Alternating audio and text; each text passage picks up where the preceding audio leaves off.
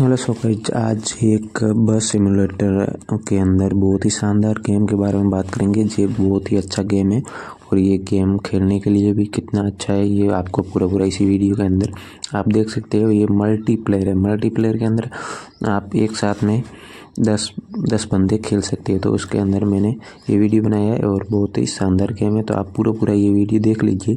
इसमें कितनी शानदार कंट्रोलिंग है। कंट्रोलिंग के अलावा आप इसके अंदर स्पीड भी बहुत ही अच्छी ला सकते हो और इसके अलावा जो अपने फ्रेंड है, उनके साथ भी आप खेल सकते हो। उसको खेलने के लिए आपको कुछ नहीं, एक रूम बनाना होगा और रूम बनाने के बाद में आप अपने बंदे को बोलना होगा, ये रूम मेरा है। तो इसके अंदर आपको मैप भी मिल जाएँगे। मैप आप इंडिया में भी खेल सकते हो। इसके अलावा आप जो कंट्री से हो, वहीं से भी खेल सकते हो। तो उसके बारे में सब आपको आगे लिखा हुआ ज़रूर मिल जाएगा और वहाँ पे आप रूम बना के रूम बना के अपने दोस्तों को भी आप बोल सकते हैं, यहाँ पे आ जाओ। तो इसमें आप कमेंट भी कर सकते हो और जो फ्रेंड है वो कहाँ पे, कैसे है तो उसको पूछने के लिए और बहुत ही शानदार आपको रोड भी मिलेगी। इसके अलावा आपको कंट्रोलिंग भी शानदार मिलेगी और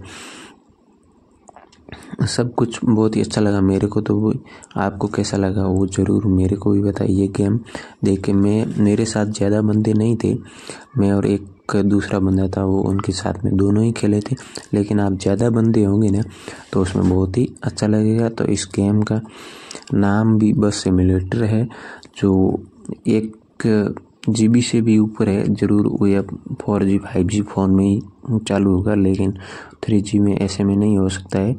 तो इसमें भी आप पैसे भी कमा सकते हो, वो कमाने के लिए आपको पैसेंजर को इधर उधर करना पड़ेगा, बाकी कुछ नहीं।